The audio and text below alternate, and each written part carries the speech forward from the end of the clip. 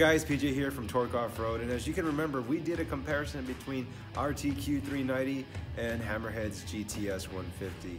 Now, unfortunately, getting the GTS down there was pretty easy. Getting it back up was, as you can see, a little bit harder. But we're going to show you how we did it.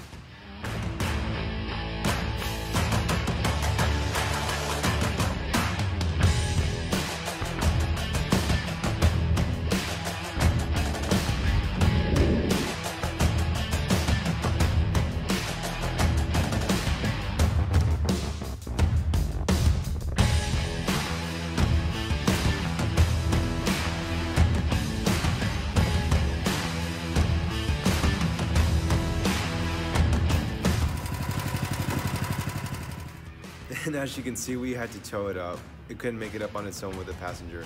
So we had to pull it. TQ390 guys. A lot of torque, a lot of power, and a whole lot of fun.